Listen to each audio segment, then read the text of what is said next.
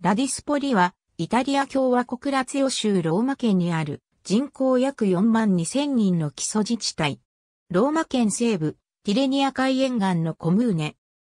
ローマ中心部から西へ約 35km の距離にある。隣接コムーネ隣接するコムーネは以下の通り。ラディスポリには以下の分離集落がある。ラディスポリのある土地には古代エトルリアの都市カエレの港であるアルシウムがあった。アルシウムは後にローマの植民地となり、マルクス・トゥッリウス・キケロの文章にもその名が登場している。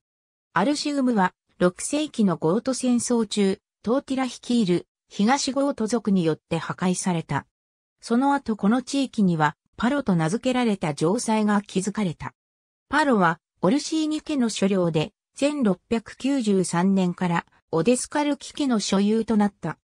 現代に続くラディスポリの町は1888年にラディスラオ・オデスカルキによって創設され、地名も彼に由来する。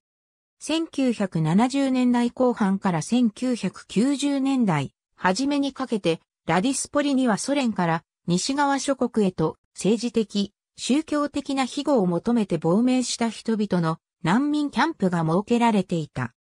1980年代、旧ソ連から亡命してラディスポリに滞在したユダヤ人の経験はマキシム・ディ・シュレイヤーによる彼の文学回顧録ウェイティング法アメリカで描かれている。マリーナ・ディ・サンニコーラは、ティレニア海に面した行楽地で、アウレリア街道でローマから 33km の距離にある。